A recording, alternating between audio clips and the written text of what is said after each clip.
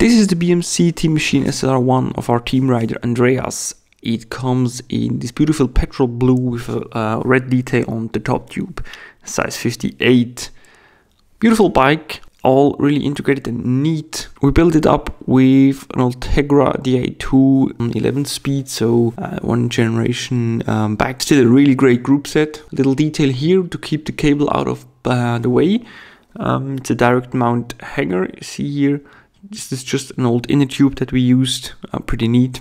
Then we have 5236, so a bit of a harder gear because we're going to be racing. We need those speeds and 1130 cassette. Then uh, normal Tegra caliper, but uh, we have SwissStop Catalyst Pro brake rotors, 160 in the front, 140 in the back. We have DT Swiss ARC 1400 wheels, pretty aero, you see the nipples are hidden, and also bladed spokes, uh, pretty nice wheels, set up tubeless with a Pirelli tire. Uh, I get to that later on. 240 internal, so pretty reliable and nice working hub there. No worries. Also really serviceable.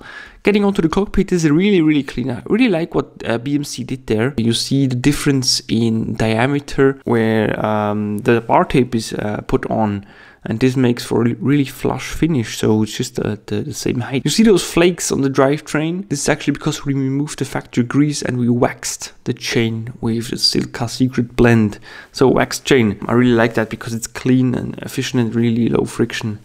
Uh, wax is the way to go, I believe. Uh, integrated bottle cages, pretty neat, and also the junction box here. So, as I said, all is really integrated, really clean. Little detail for our race team there. D-shaped seat post and clamp it here. Overall, a pretty, pretty nice bike and also pretty lightweight. Um, you'll be seeing the weight uh, later on. Cockpit is really, really aero. We tilted the levers in a bit so you can get in a really aero position.